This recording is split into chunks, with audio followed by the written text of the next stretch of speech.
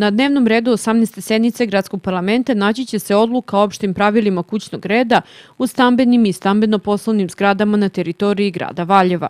Nadležni su pripremili novu odluku o kućnom redu u stambenim i ono što je novina stambeno-poslovnim zgradama kako bi se obezbedio red, mir i sigurnost u zgradama. Odlukom se regulišu opšta pravila kućnog reda. Precizira se kada je vreme odmora i sva pravila vezana za buku, držanje kućnih ljubimaca, izvođenje radova, korišćenje zajedničkih prostorija, zemljišta pored zgrade, održavanje zajedničkih instalacija, fasada, krova, kao i postupanje u slučaju kršenja pravila.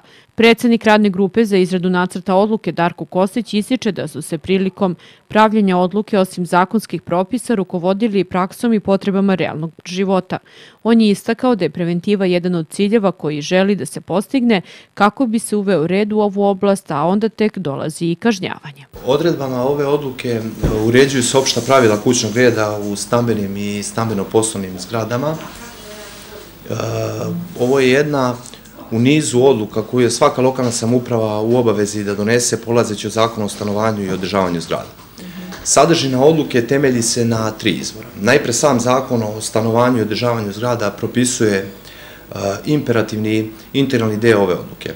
Zatim stavna konferencija gradova i opština dostavila je svoj predlog ove odluke svim e, lokalnim samoupravama i predlog naše odluke se u dobroj meri e, naslanja na taj predlog stavne konferencije gradova i opština jer je osnovna zamisao bila da se ta odluka univerzalizuje na nivou čitave Srbije radi njene lakše implementacije i praćenja. Konačno, E, prilikom definisanja pojedinih rešenja koja su sastavni deo ove odluke, e, pošlo se i od iskustava inspekcijskih službi koja je iznedila praksa. Kad to kažem, tu pre svega mislim na e, sve one zahteve, prijave, primetbe, probleme, poteškoće građana, ali i njihove sugestije i predloge kako da se određene stvari reše i pomere, a što je sve evidentirano kod inspekcijskih službi u konkretnim predmetima koji se vode kod njih. Također želim da istaknem i da smo vodili računa prilikom izrade predloga ove odluke da ona bude sinhronizovana u potpunosti sa drugim lokalnim odlukama koje uređuju srodne povezane i bliske oblasti.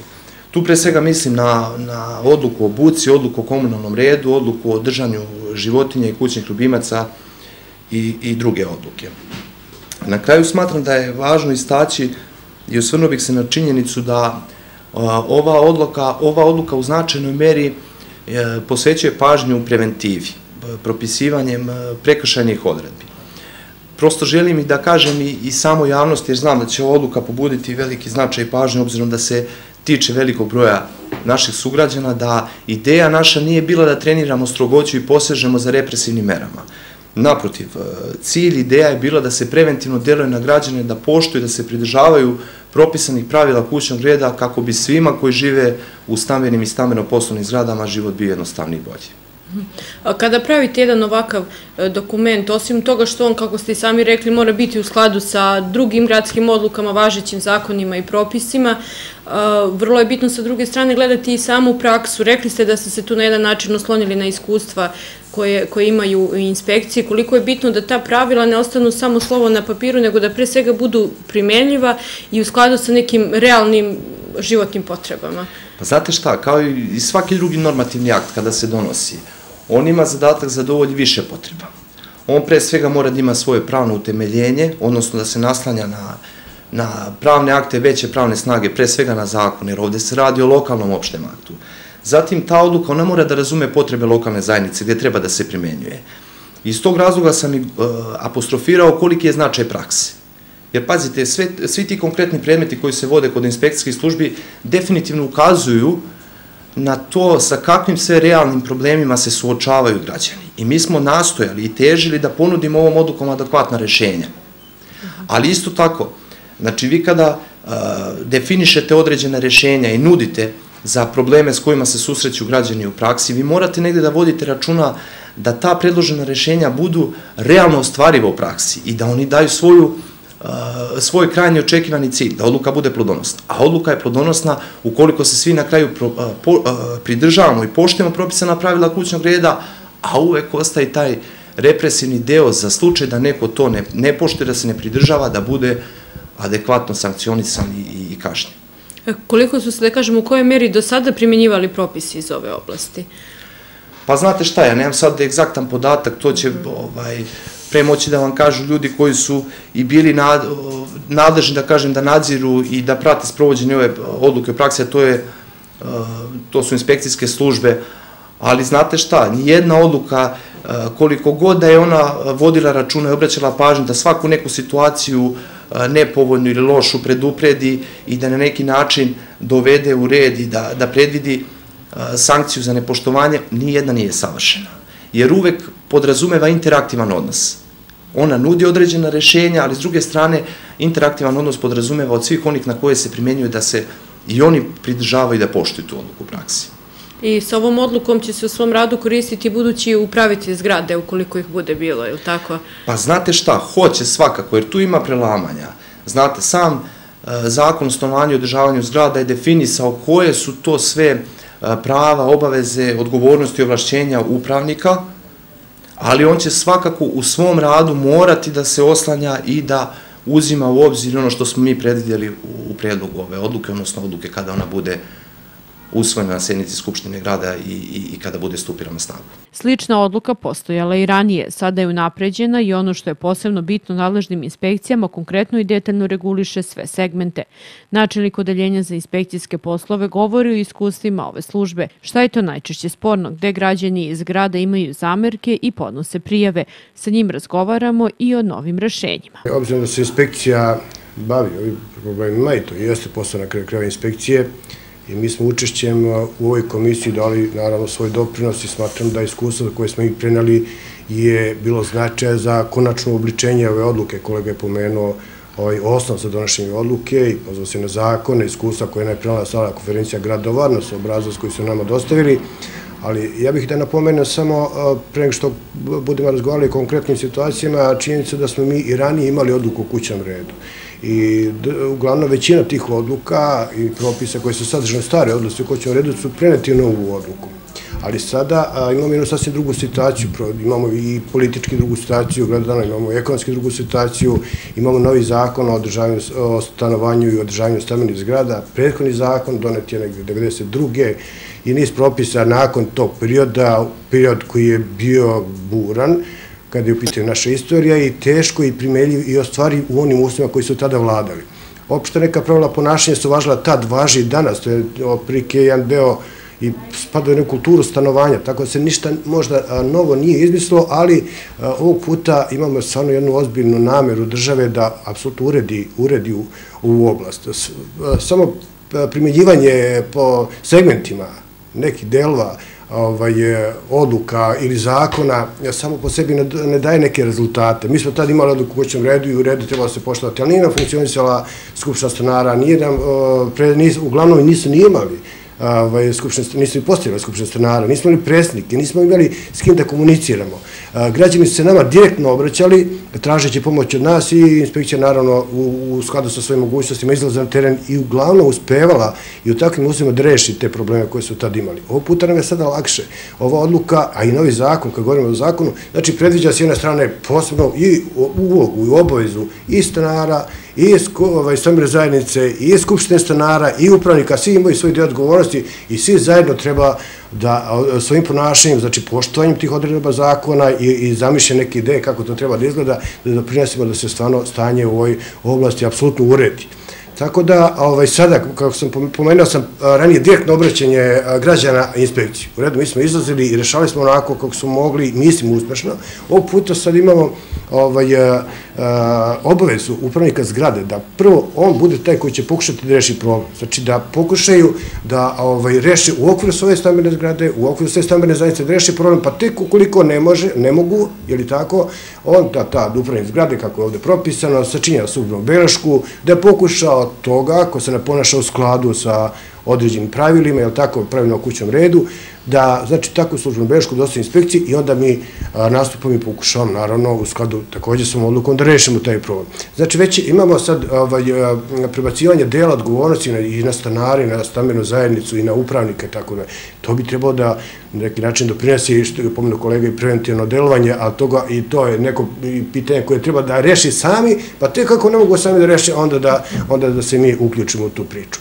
Tako da, Ono što se tiče, kažem, tih iskustva, jasno je da, da ovaj zakon ovaj, koji predviđa, kažem, pre, predviđa pored niz aktivnosti, kao što su odluka, recimo, kućnom redu i niz drugih propisa koje, treba da, e, koji su doneti ili koji će biti doneti, a koji svi zajedno treba da poboljšaju e, stanje u ovoj oblasti. Konkretno, naši problemi glavni su bili To su neke stvari koje su vezane za buku, najčešće buku koja dolazi iz susrednih stanova, odlično stanova iznad, Mi smo to rešili, postoji ranije e, ovaj, zabrana, ali kažem, mi smo to ovaj, sada precizirali. Pored toga, nenamensko korišćenje zajedničkih prostorija, ovaj, što je bila česta primjerljiva stanara, držanje stvari, recimo u kodnicima, u vešernicama, da, ne, ovaj, da sad ne nabrajem konkretne, ima tu i smešnih i zaista nevjerojatnih stvari koje ljudi prijavljuju, vrlo često iz inata, ono što meni kao način spisati najviše smeta, ali to je kod nas u Srbiji zelo ustavljeno, da često i kao vam nešto ne smeta, ali iz inata ćete nekoga prijaviti i tako dalje.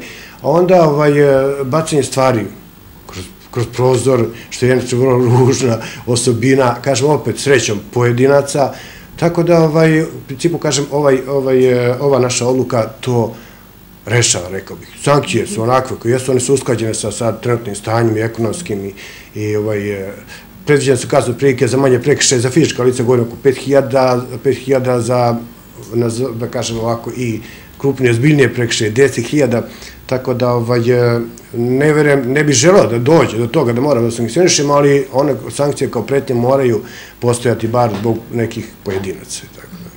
Vi ste da kažem spomenuli sad na primjer na neke konkretne odredbe, vi ste spomenuli za, za buku, e, imamo, imamo, imali smo i korišćenje zajedničkih prostorija. Imamo na primjer situacije u zgradama kada E, nešto nije u redu sa tim zajedničkim instalacijama i uvek imamo tu neku situaciju da ovog iznad gore ne interesuje ako dole ima problem u nižnim spratovima, na primjer sa kanalizacijom ili bilo kojim drugim, isto sa krovom. Obično vi dole u prvom, drugom spratu njih baš briga što ovom gore na četvrtom i petom e, kisne. Kako će se sad to regulisati? Tako je, ovaj, zaista je bio problem. Onaj krov je bio problem ono koji živi u potkrovlju, a liftovi su bili problem svih se mogo ono koje je na, u prizivno. Tako. To dosta stvarno je bio problem rešiti i to je bilo ovaj, zaista mučno u pojedinim situacijama. E, postoji jedna ružna navika i možda je još preuzeto iz onog perioda e, postojanja, da kažem, mešovite svojine ili još dok je postojena društvena svojina, kada su stanari smatrali stanom i svojom obavezom državi samo svoj prostor unutar, unutar onih zidova stana. Sve ostalo su smatrali tuđem obavezom, hodnici, zajedničke prostorije, instalacije i tako dalje. Tako da ovaj, vrlo je teško bilo se organizovati, našto tamo gdje nisu postojale skupštine stanara, da se ljudi organizuju da, da zajednički otklone taj, taj problem koji imaju. Problem krova je stvarno, znam iz iskustva i kolege koje rade sa mnom koji su imali strašne probleme da reše problem prokišnjavanja. Na kraju svelo se na to da su oni sami morali da snose troškove. A ovom odlukom, znači, postoje obaveze i propisane su zakonom, ne odlukom, propisane su zakonom o stanovanju državne stambene zgrade, znači obaveze i skupšne stanara sad kao pravog lica da imaju svoj račun, pi, matični broj i da ovaj, e, zajednički, znači, uređuju, uređuju i održavaju zgradu, održavaju, znači, i te zajedničke elemente zgrade, mislim na, prvo na, na konstruktivne elemente, i na zajedničke, zajedničke prostore i na zajedničke instalacije. Tako da postoji obaveza stanara, a to i kroz, i kroz uh, Skupšna stamene zajednice, i kroz upravnika sveta njihova zajednička obaveza i sankcionisana u slučaju ovaj, neodgovornog ponašanja dopuštenog. Prepostavljam da se to isto odnosi i na fasade. fasade... Apsolutno, apsolutno. Svi zajednički delovi zgrade su, znači zajedničke održavanje svih zajedničkih delova je obaveza svih stanara. Ovo puta čak i nije potrebno ni apsolutno saglasno svih stanara, što je često bila kočnica ranije, nego dovoljna je većina da donesu odluku neko, uvek se nađe tu neko ko je E, protiv svega. Razumete, zbog toga često nije moglo ništa da se uradi u zgradi. Ovog puta, znači, nije potrebno, apsolutno, nisu potrebno, nije potrebno saglasno svih stanara, tako da će to ovaj, biti, e, mislim, ovog puta zaista dovedeno u red. Treba će vremena da se razume, mislim, ali ako se napravi prvi korak, ne može se sigurno ni doći do cilja u svakom slučaju. Znači, korak, korak po korak uredit će svi oblasti.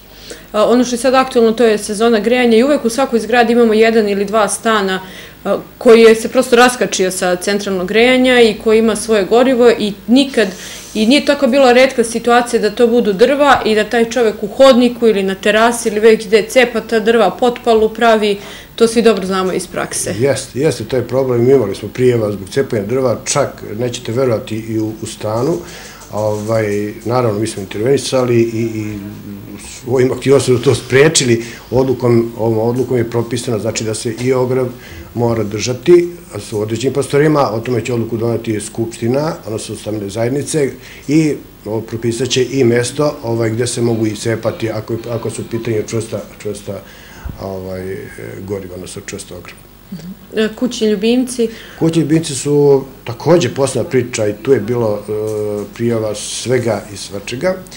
Držanje kućnih ljubimaca i regulisno imamo i našu odluku koja i posebno reguliše pitanje e, držanja kućnih ljubimaca. Zna se koliko se može držati pasa i mačaka, konkretno u stanu, znači u jednom stanu može držati jedan pas ili jedna mačka, ovaj, e, ostali kući ljubimci također mogu se držati, ali na način da ne znamiravaju ostale, ostale e, stanare. Tako da, kažem, ovo je definisano i odlukom držanja domaćih životinja. Imali smo rašti prijeva i e, ptica i tako dalje, da koje ovaj, e, su smetale komšijama, i tako da smo mi određene aktivnosti ta preduzimali, a i sada, naravno, ovaj, zaista kuće ljubimci se moraju držati na način da ne ometaju ostali stanari, isto tako da se vodi računa i o održavanju higijene, vezane za kuće ljubimce, našto u tim zajedničkim prostorijama, u, u dvorištima i tako imamo situacije kada po kućama, ne mora to da bude samo stambena zgrada, kada neko radi nešto, da ga komšije prijavljuju, da nisu zadovoljni, da to možda usporava tom čoveku radove, bez obzira što on, na primjer, ima sve potrebne dozvole. Kako je procedura kada se, na primjer, renovira stan, deo stana u stambenoj zgradi? E, dobro, kuće ova odluka reguliše ovaj, znači, kući red u stambenim i stambeno-poslovnim mhm. objektima. Prvi put sad naglašam stambeno-poslovnim objektima, da se naša odluka regulisala samo ponašanje, odnosno kući red u stambenim objektima, sad i u stambeno-poslovnim objektima, obzirom da u stambenim zgradama u većini imamo i taj poslovni prostor i to se nametlo, i nametlo se to kao potreba da se, da se reguliše. Znači, što tiče kuća u, u stambenim zgradama, znači izvođenje radova, pored pribavljanja potrebne dokumentacije koje je priđen zakon planiraju izgradnji i drugim propisima, odlukama, potrebno je dakle, saglasnost stanara, e, mora se voditi računa i o buci, koja se pritom ovaj, pravi našto u vreme e, koje je predviđeno za odmor, znači o tome se mora strogo voditi računa, a to je kad govorimo o stavnim i stavnim poslovnim zgradama. U privatnim objektima, u privatnim kućama, e, ona, ova odluka se nalazi na njih, ali u svakom slučaju mora se voditi računa o javnom redu i miru i u tim situacijama. I koje je to vreme odmora? Kako je ono definisano? Ono što smo mi propisali, ono što je propisano odlukom, da kažem nije, nego ono što je propisano odlukom, radnim danom to je od 16 do 18 časova i od 22 do 7 časova ujutru, a vikendom od 14 časova do 18 časova i noću od 10 od 22 časa do 8 časa ujutru. To je, to, je, to je neko vreme odmora i koje bi, koje bi trebalo i koje se mora poštovati. Osim što javno komunalno preduzeće sređuje javne površine, mi tačno možemo vidjeti u nekom naselju gde su komšije, na primjer, zgradi složne, pa i sami sade cveće, uređuju taj prostor ili neke sprave za igranje dece, e, a može se vidjeti gde to nije tako. A preposledam da ova odluka reguliše i korišćenje prvo tog zemljište oko zgrade. E, to je zemljište za redenu uputu u zgrade i ovom odlukom također definisa način korišćenja tog e, zemljišta za redenu uputu u zgrade, znači propisane su zabrane, dakle sama Skupština samene zajednice može propisati način korišćenja tog prostora, da li će opredeliti deo za parkiranje vozila, za uh, igru e, dece i tako dalje, za neke ovaj, e, druge namene, ali to je na Skupštini stanara da odluči i da uredi način korišćenja. U svakom slučaju zabranjeno je svako sam inicijativno, protivpravno i tako dalje korišćenje tog prostora, mimo u suprotno postojeće odluci. Dakle. Također možemo vidjeti terase, balkone koji su uređeni, lepo sređeni, negdje gdje stoje neke stare stvari, natrpano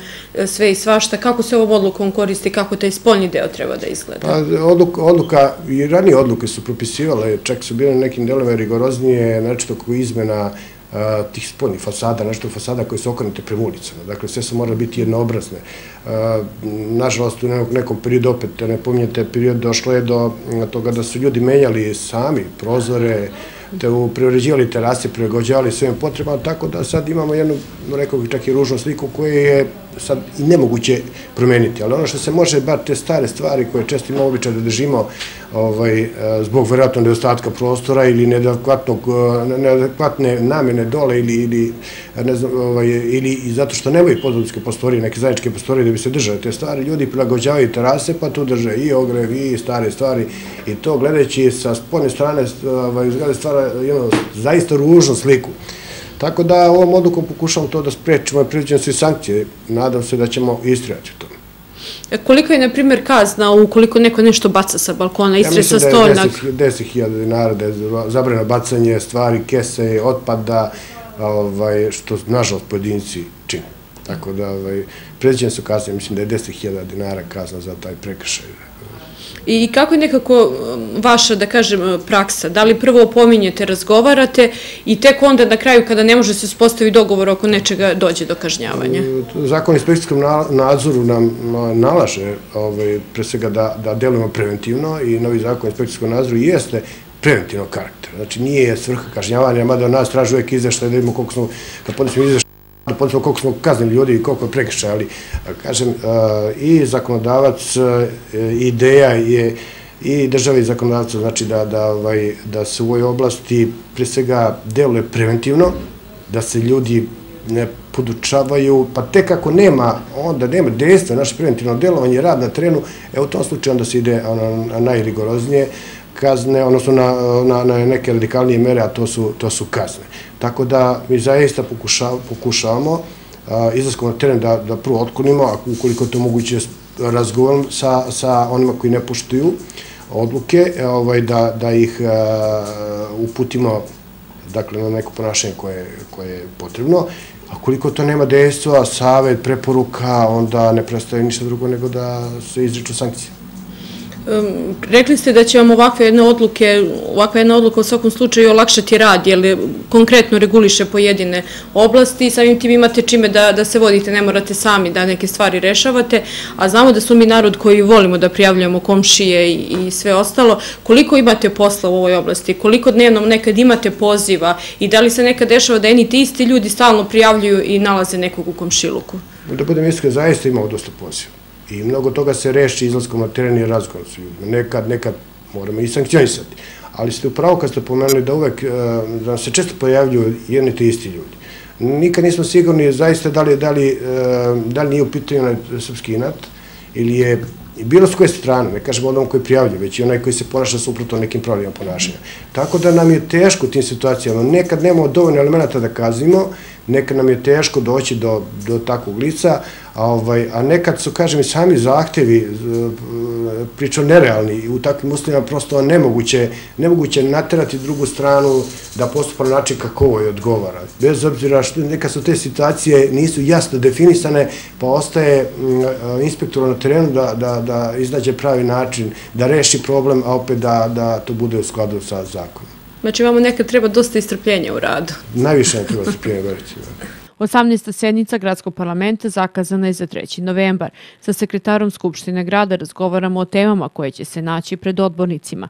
Predlog drugog rebalansa gradskog budžeta i povlačenje odluka o imenovanju direktora javno-komunalnog preduzeća Vidrak su jedne od značajnijih odluka o kojima će odbornici odlučivati. Zvanična sednica 18. po redu Skupštine grada Valja u ovom sazivu sazvana je za petak 3. novembar sa početkom u 10 sati sada već standardno. Imamo nekih e, 19 ukupno tačaka dnevnog reda sa 19. koja je po pravilu posljednja ono kadrovska pitanja, a ostalih 18 e, kažem, su tačke dnevnog reda ne tako brojne, ali s obzirom da se radi tu o rebalansu budžeta, o izveštaju o realizaciji budžeta za prvih devet meseci, o nekim e, dokumentima koji su programskog karaktera, kao i odlukama koje se odnose na Eh, kućni red u stambenim zgradama, odluke o izmenama, odluke o gradskim upravama, odluke o finansiranju udruženja građana, dakle ne tako veliki broj tačaka dnevnog reda, svega 19, ali su izuzetno značajne i očekujemo zaista jednu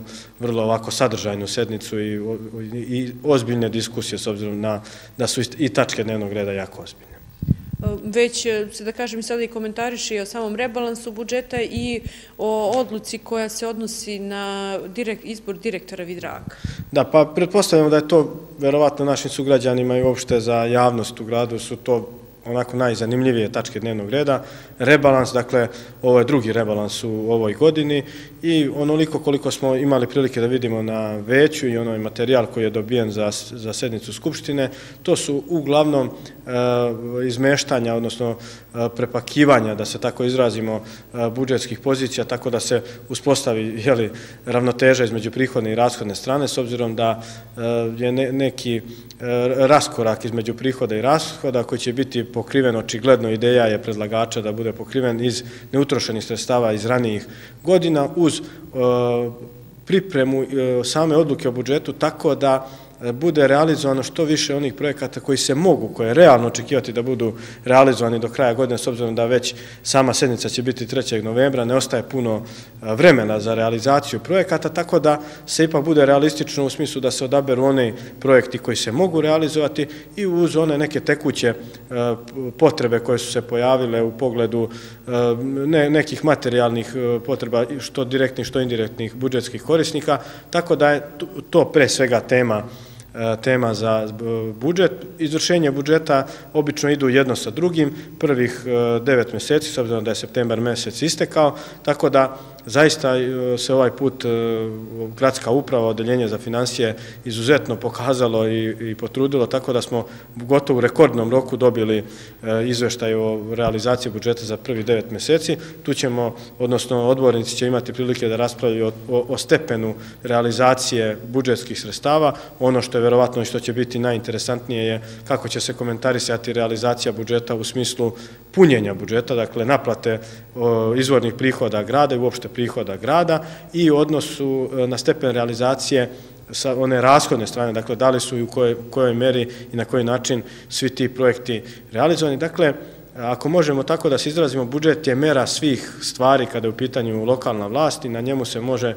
jasno videti kao krvna slika kako je vlast funkcionisala, kako je radila i, i to je ono što će sigurno biti najinteresantnije. Druga tačka dnevnog reda vidimo da se i u medijima i u javnosti o tome dosta govori, jeste odluka o e, izboru direktora javnog komunalnog preduzeća Vidra Hvaljevo. E, poznato je dakle već javnosti da je konkurs za izbor direktora Vidraka bio raspisan u početkom juna meseca, da je procedura sprovedena, da je, da je komisija za izbor direktora predložila gradskom veću e, rang listu kandidata, Međutim, gradsko veće, što smo juče imali prilike da vidimo, donelo, dalo je, odnosno predlog odluke Skupštine da se stavi van snage odluka o raspisivanju e, konkursa, to koje, dakle, te odluke od 6. juna e, ove godine.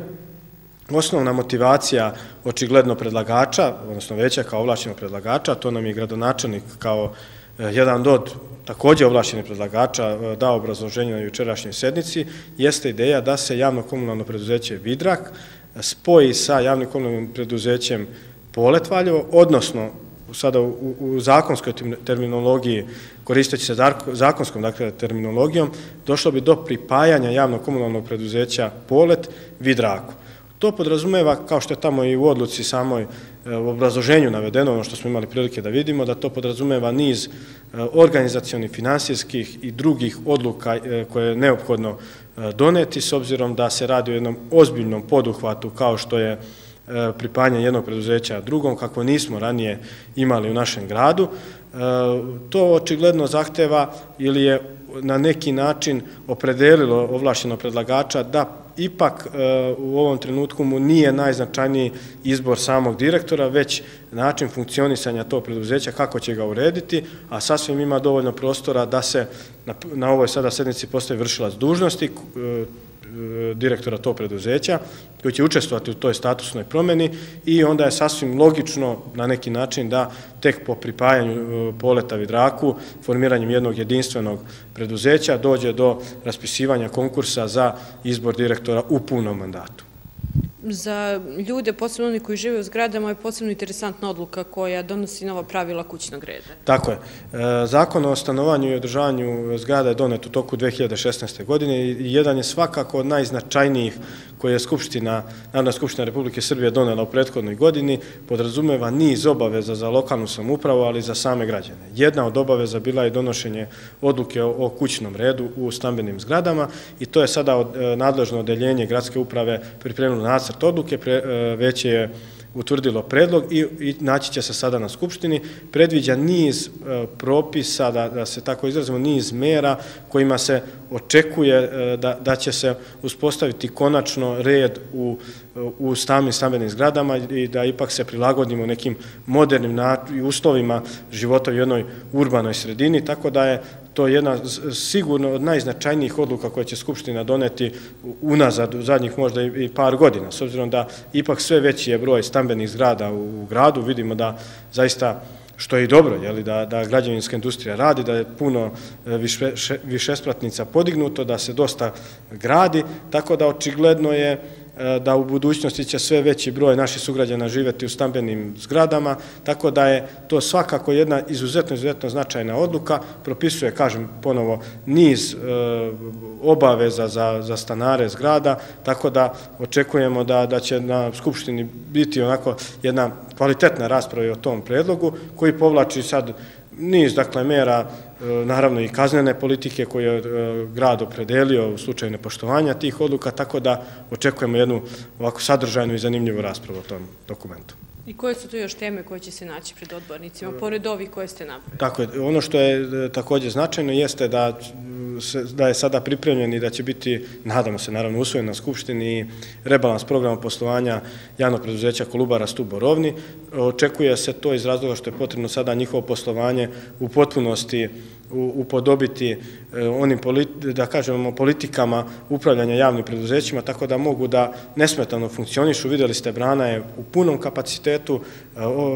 U toku večerašnjeg dana smo tek mogli da vidimo kakve su koristi od tog, ja, od tog objekta koji nam je značajno. Evo i sada na štabu za vanredne situacije dobili smo izveštaj u kolikoj meri je e, reka Kolubara stavljena pod kontrolu zahvaljujući tom objektu. Taj objekat je dakle sada u apsolutno funkcionalan, preduzeće je apsolutno funkcionalno i mi sada samo donosimo korak po korak, odnosno grad očigledno i donosioci odluka opredeljuju strateški sada dalje kako će se to E, tim objektom e, upravljati, a kako će se upravljati normalno radi se kroz to preduzeće, tako da su i te e, promene u programu poslovanja logične kako bismo godinu preveli kraju i već dobili neke naznake šta je to što će se raditi u narednim godinama. Također, jedna od značajnijih odluka jeste i izmena plana komunalne izgradnje.